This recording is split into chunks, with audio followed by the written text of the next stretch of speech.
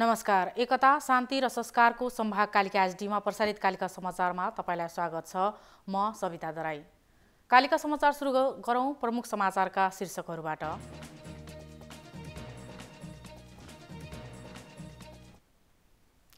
प्राप्त उपलब्धि रक्षाका लागि एक हुन प्रधानमन्त्री दाहालको आग्रह गणतन्त्र उल्ट्याउने सपना नदेख्न चेतावनी।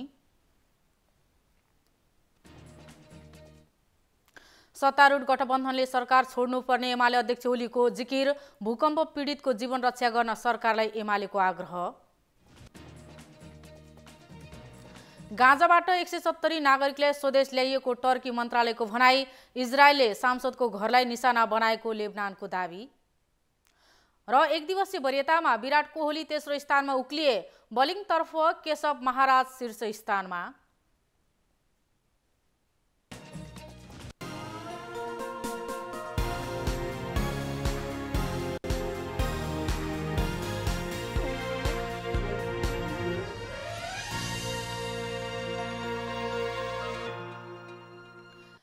कालिका समाचार सुरु गरौँ राष्ट्रिय समाचारबाट। प्रधानमन्त्री पुष्पकमल दाहालले प्राप्त उपलब्धि रक्षाका लागि सबै एकजुट हुन आग्रह गर्नुभएको छ। बुधबार शङ्खधर स्वाखा दिवसको अवसरमा काठमाडौँमा आयोजित समारोहलाई सम्बोधन गर्दै उहाँले यस्तो बताउनु भएको हो। उहाँले पछिल्लो समय लोकतन्त्र पछिका उपलब्धिलाई कमजोर बनाउँदै जाने क्रम बढेको भन्दै सबैले एक ठाउँमा उभिएर उपलब्धिको रक्षामा लाग्नुपर्ने बताउनुभयो। उहाँले आन्दोलन सफल भएपछि प्राप्त उपलब्धिको रक्षा गर्न बिर्सने परिपाटी विकास भएको भन्दै त्यसलाई रोक्न आवश्यक रहेको बताउनुभयो। उहाँले व्यवसायी दुर्गा प्रसाईप्रति लक्षित गर्दै दुस्साहस दिवा स्वप्न र ठुलो विभ्रम विभ्रम फैल्याउने कसरतमा लागेको भए पनि सफल हुन नसक्ने बताउनु भएको छ। उहाँले दिवा स्वप्न नदेख्न चेतावनी दिनुभएको छ। प्रधानमन्त्री दाहालले जनताका हक अधिकारको लागि अझै अघि बढेर लड्नुपर्ने आवश्यकता रहेको औलाउनु भएको छ। प्रमुख प्रतिपक्षी दल नेकपा एमालेका अध्यक्ष केपी शर्मा ओलीले सत्तारूढ गठबन्धनले सरकार छोड्नुपर्ने जिकिर गर्नुभएको छ। मुलुकलाई प्रतिगमनतर्फ जानका लागि अनुकूल वातावरण बनाएकाले सत्तारूढ गठबन्धनले सरकार छोड्नुपर्ने ओलीको जिकिर थियो। उहाँले बुधबार पार्टी मुख्यालय च्यासलमा आयोजित केन्द्रीय कमिटी बैठकलाई सम्बोधन गर्दै सरकारले प्रतिगामी शक्तिहरूलाई हौसला प्रदान गर्ने नालायकीपन देखाइरहेको उल्लेख गर्दै आफ्नो पार्टीलाई त्यस्ता खालका गतिविधि स्वीकार्य नहुने चेतावनी पनि दिनुभयो। ओलीले वर्तमान सरकारले मुलुकको अर्थतन्त्रलाई सकारात्मक बाटोमा फर्काउने सम्भावना नरहेको दावी समेत गर्नुभयो। उहाँले देश अप्ठ्यारो परिस्थितिमा रहेकाले प्रतिगामी तत्त्वहरू सलबलाएको भन्दै देशलाई सही बाटोमा ल्याउने काम एमाले मात्रै गर्न सक्ने बताउनुभयो। अध्यक्ष ओलीले सत्तारूढ गठबन्धनको सत्ता स्वार्थका कारण मुलुकको स्वाधीनता सबैभन्दा अपहेलित अपमानित र तिरस्कृत हुन पुगेको बताउनुभयो। यसैबीच प्रमुख प्रतिपक्षी दल नेकपा एमाले पश्चिम नेपालका भूकम्प पीडित नागरिकको जीवन रक्षाका लागि सरकारसँग माग गरेको छ।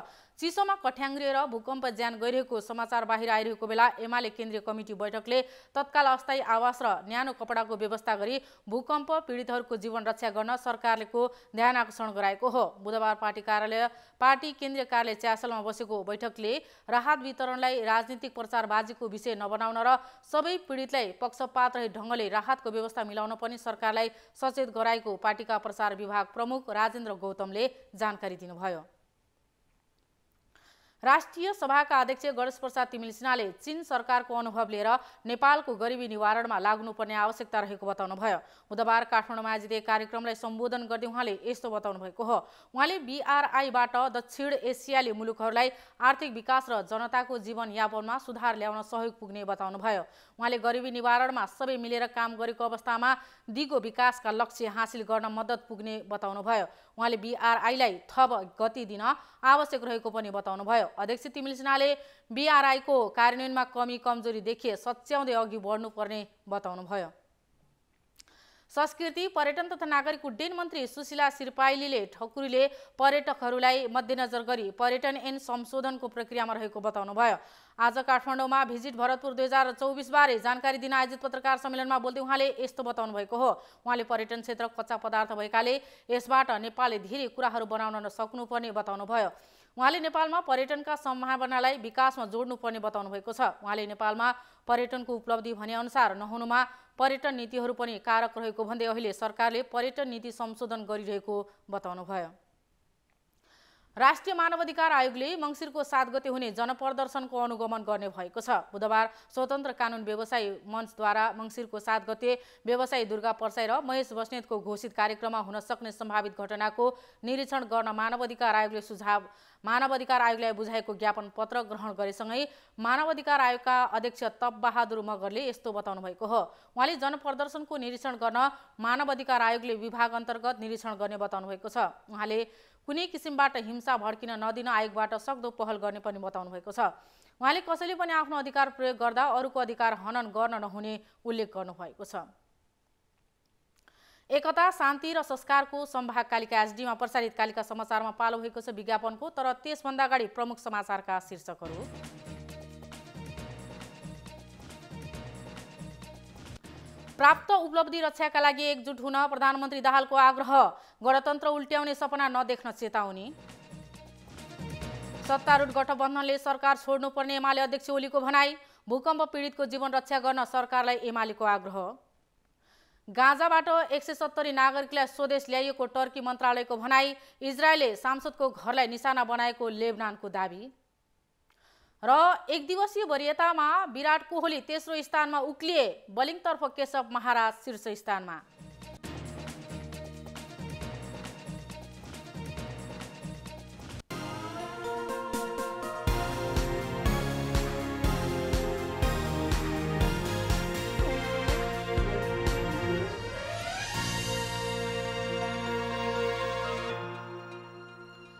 कालिका समाचारमा पुनः स्वागत छ। अब स्थानीय समाचार। भरतपुर महानगरपालिका बाह्र मिलन चोकको कव कलवर्टमा आज बुधबार एक पुरुष र एक महिलाको शव भेटिएको छ। जिल्ला प्रहरी कार्यालय चितवनका प्रहरी नायब परीक्षक डिएसपी एवं प्रवक्ता विजयराज पण्डितका अनुसार तिस बत्तीस वर्षका उमेरका उनीहरूको शव भेटिएको हो। शव दुईवटा बोरामा बाँधेर फालेको अवस्थामा भेटिएको हुँदा शङ्कास्पद भएको उहाँले बताउनु भएको छ। हातखुट्टा बाँधेर बोरामा हालेर फालेको अवस्थामा सब भेटिएको र घटनाको अनुसन्धान सुरु गरेको डिएसपी पण्डितले जानकारी दिनुभयो। सबको शनाखत हुन बाँकी रहेको छ। पोस्टमार्टमको लागि दुवै सब भरतपुर अस्पतालमा लगिएको छ। चितवनको भरतपुर स्थित बोस्टन इन्टरनेसनल कलेजमा बिआइसी ह्याकाथन हुने भएको छ। कलेजद्वारा स्थापना भएको club Boston Centre for Information and टेक्नोलोजीले पौषको चारदेखि छ गतेसम्म बिआइसी ह्याकाथन कार्यक्रम गर्ने भएको हो। निरन्तर अडचालिस घन्टा चलिरहने सो कार्यक्रम सूचना प्रविधि सम्बन्धी प्रतिस्पर्धा हो। व्यक्ति तथा कम्प्युटर प्रोग्रामबाट नयाँ सफ्टवेयर विकास गर्ने तथा अव्यवस्थित सफ्टवेयरको सुधार गर्ने यो प्रतियोगिता कलेजको तेस्रो श्रृङ्खला भएको आज बुधबार कलेजमा पत्रकार सम्मेलन गरी जानकारी दिएको छ। सो कार्यक्रममा देशभरका कक्षा एघार बाह्र र स्नातक तहमा सूचना प्रविधि अध्ययनरत विद्यार्थीहरूको समूहले सहभागिता जनाउन पाउनेछन्। सहभागीहरूसँग आफ्नो कलेज आइडी कार्ड हुनुपर्नेछ भने प्रति टोलीमा दुईदेखि तिनजना हुनुपर्नेछ। प्रतिस्पर्धात्मक कार्यक्रममा प्रथम हुने समूहले पैँतिस हजार रुपियाँका साथ रनिङ सिल्ड र प्रमाणपत्र द्वितीय हुने समूहले पच्चिस हजार रुपियाँ तृतीय हुने समूहले पन्ध्र हजार रुपियाँ उत्कृष्ट टोलीलाई नगद पाँच हजार रुपियाँसहित प्रमाणपत्र प्रदान गरिने आयोजकले जनाएको छ। कार्यक्रममा सहभागी हुनको लागि दर्ता गर्ने प्रक्रिया पनि सुरु भइसकेको आयोजकले जनाएको छ। ह्याकाथनको पहिलो प्रतियोगितामा दसवटा समूह र दोस्रो प्रतियोगितामा पन्ध्रवटा समूहको सहभागिता रहेको थियो। ह्याकाथन शब्द ह्याकर र म्याराथन दुई शब्द मिलेर बनेको शब्द हो जहाँ ह्याकर भनेको एक चलाख प्रोग्राम र प्रोग्रामर र म्याराथन भनेको एक सीमित अवधिभित्र रहेर सहनशीलतापूर्वक कोडिङ गर्नु हो। कालिका समाचारमा अब अर्थ समाचार।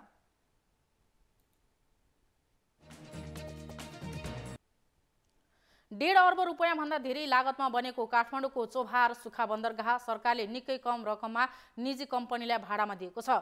बन्दरगाहको व्यवस्थापन गरेको इन्टर मोडल यातायात विकास समितिले खुला प्रतिस्पर्धाबाट नेपाल फ्रेट सर्भिस जेबीलाई जम्मा दुई करोड अठासी लाख रुपियाँमा पाँच वर्षको लागि भाडामा दिएको हो। विकास समितिले आह्वान गरेको ग्लोबल टेन्डरबाट बन्दरगाह सञ्चालनको लागि दुईवटा कम्पनीले आवेदन दिएकोमा नेपाल फ्रेट सर्भिस जेबीले उच्च मूल्य बोल कबुल गरेको थियो। कम्पनीले सरकारलाई पाँच वर्षमा दुई करोड अठासी लाख रुपियाँ भाडा बुझाउनेछ।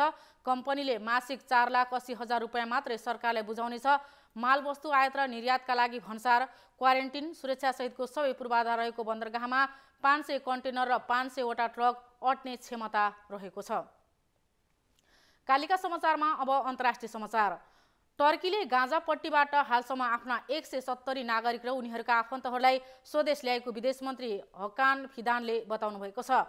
परराष्ट्र मन्त्रालयले जारी गरेको विज्ञप्ति अनुसार चौवालिसजना टर्की नागरिक चार्टर टर्किस एयरलाइन्सको विमानबाट इजिप्ट हुँदै इस्तानबुल पुगेका थिए। गाँजामा अब बस्न सम्भव छैन। इजरायली बमबारी रातमा सुरु हुन्छ र बिहान छ बजेसम्म जारी रहन्छ। विस्थापित टर्की नागरिकहरूमध्ये एक केरेम हुसेनीले भन्नुभएको छ। यता यसैबीच यता गाँजाबाट अन्य सतासीजना नागरिकलाई लिएर विमान इस्तानबुल आइपुग्ने अपेक्षा गरिएको छ। यसैबीच यता लेबनानका सञ्चार माध्यमहरूले इजरायली सेनाले लेबनानी सीमावर्ती सहरहरू रहेको सांसदहरूको घरलाई निशाना बनाई आक्रमण गरेको बताएका छन्। लेबनानी संसदका सदस्य काबालानको घरलाई इजरायली सेनाले निशाना बनाई आक्रमण गरेको बताएको हो। इजरायल र लेबनान बीच अहिले पनि युद्ध जारी रहेको छ।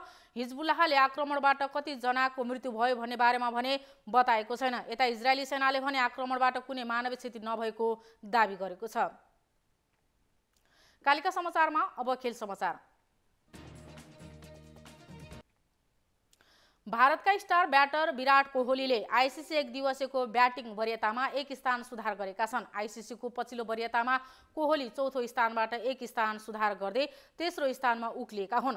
भर्खरै सकेको एक दिवसीय विश्वकप क्रिकेटमा सात सय छप्पन्न सात सय पैँसठी रन बनाउँदै कोहली प्रतियोगिताको सर्वोत्कृष्ट खेलाडी बनेका थिए। एक दिवसीय ब्याटिङ वरियताको शीर्ष स्थानमा रहेका भारतकै ओपनर ब्याटर सुभमन गिल शीर्ष स्थानमा रहेका छन्। गिलको रेटिङ पोइन्ट आठ सय छब्बिस छ भने कोहलीको रेटिङ पोइन्ट सात सय एकानब्बे रहेको छ। योसँगै कोहली फेरि एकपटक एक दिवसीय वरियताको शीर्ष स्थानमा पुग्ने सम्भावना बलियो भएको आइसिसीले जनाएको छ। आइसिसी वरियताको दोस्रो स्थानमा पाकिस्तानका बाबर आजम यथावत छन्। भारतीय टिमका कप्तान एक स्थान सुधार गर्दै वरियताको चौथो स्थानमा रहेका छन्। एकता शान्ति र संस्कारको सम्भाग कालिका एसडीमा प्रसारित कालिका समाचारको अन्त्यमा प्रमुख समाचारका शीर्षकहरू पुनः एकपटक।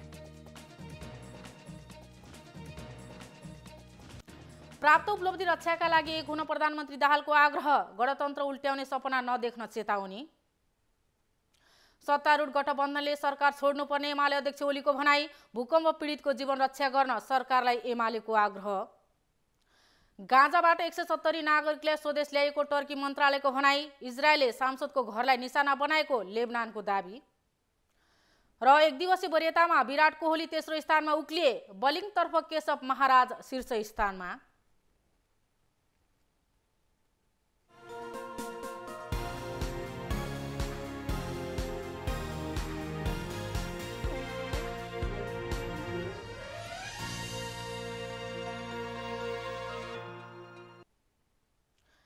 एकता शान्ति र संस्कारको सम्भाग कालिका एसडीमा प्रसारित कालिका समाचार अहिलेका लागि यति नै। हेर्दै गर्नुहोला कालिका एसडी। म सविता दराई बिदा हुन्छु। नमस्कार।